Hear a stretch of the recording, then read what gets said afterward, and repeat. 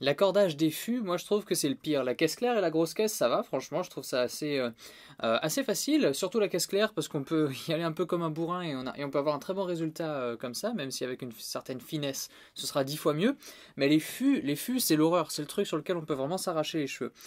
Euh, notamment si on veut les, euh, les, accorder bien bas, je trouve. C'est là que le, euh, le, problème va être. Je suis tombé sur une vidéo de Rob Brown, un américain, je vous mettrai le lien dans la, dans la description, qui expliquait une technique super simple, sans drumometer ou je sais pas quoi. vraiment juste un, truc tout simple pour accorder super rapidement ses fûts.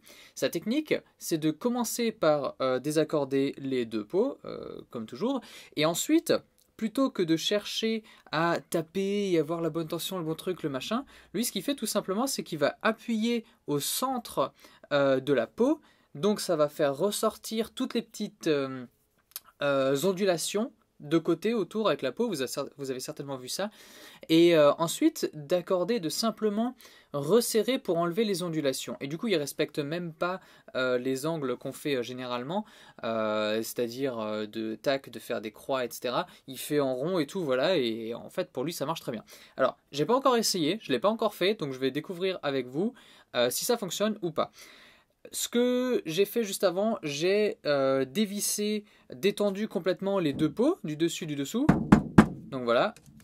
Là c'est, vous voyez, je peux bouger le métal, donc c'est, je peux le bouger avec les doigts là. Hein. Là je suis, euh, je suis bien, bien détendu. Et si, euh, je sais pas si on verra la vidéo, mais ça fait effectivement des craquelures. voilà. J'ai pas changé les pots, les pots ne sont pas neuves.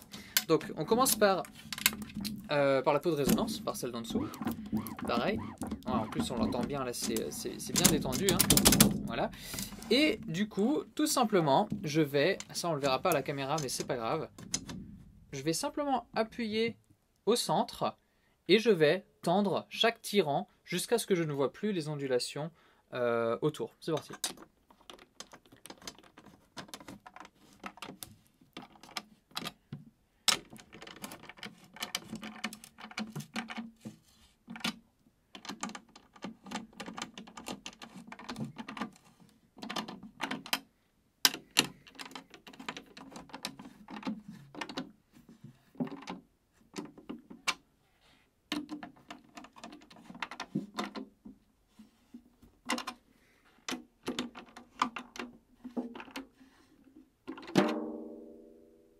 Ok, ma peau de résonance, a priori, elle est faite. Je vais changer le gain pour ça.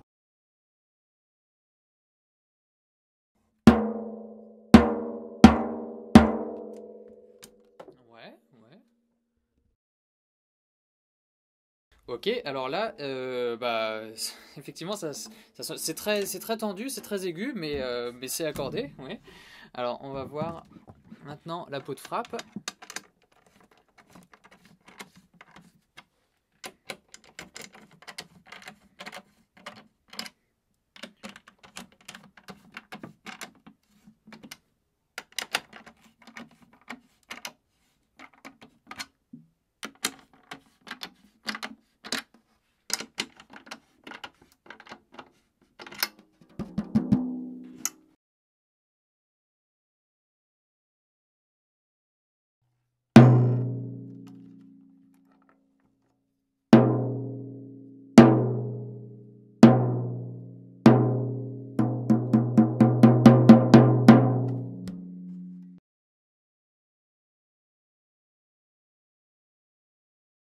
Euh, ouais, bah effectivement, ça sonne pas mal. Alors, il est super tendu. Moi, j'aime bien quand c'est beaucoup plus grave. Mais j'ai pas de. Euh, enfin, je, rigole parce que, en fait, euh, pour moi, ça, prend beaucoup plus de temps que ça d'habitude. Du coup, je vais enlever. On va faire à peu près un demi-tour sur chaque tirant pour avoir quelque chose d'un peu plus bas.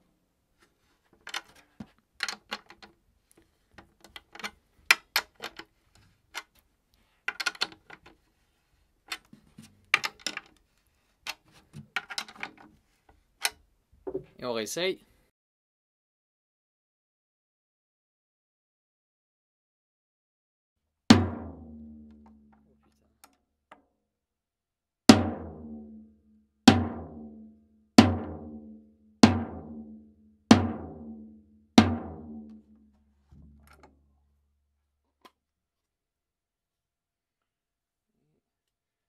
Avec un moongel, petit moongel.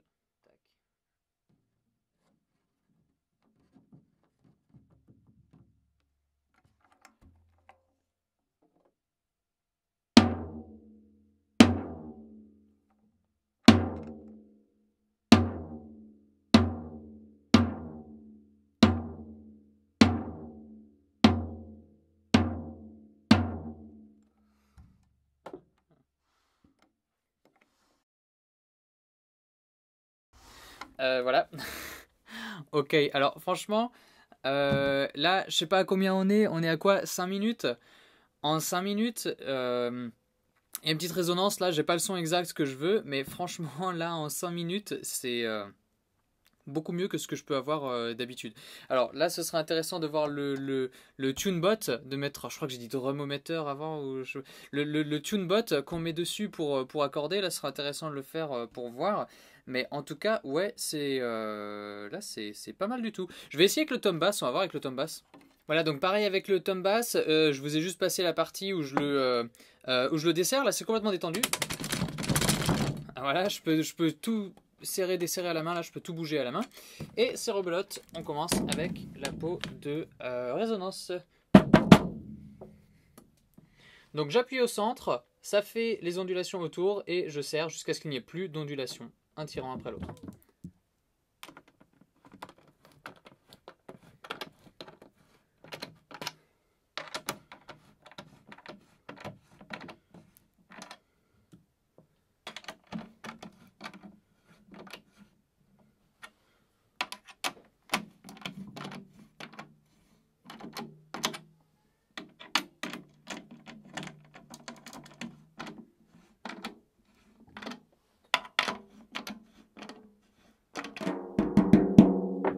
Okay.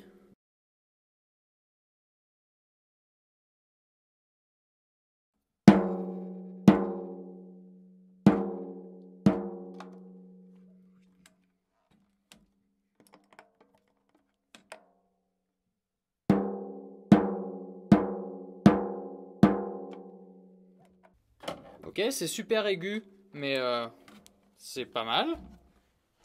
Même chose de l'autre côté.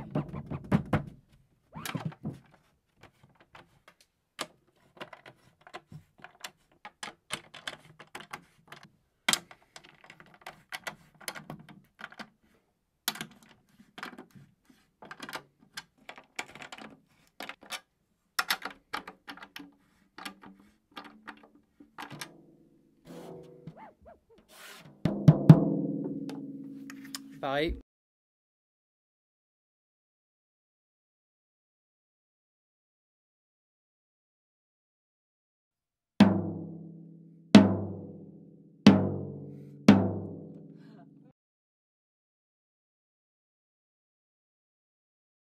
Ok, bah pareil, c'est pas le son exactement euh, que je veux, mais, euh, mais ça sonne juste quoi.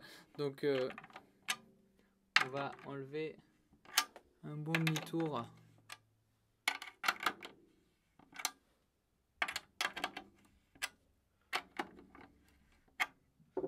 Sur chaque tirant.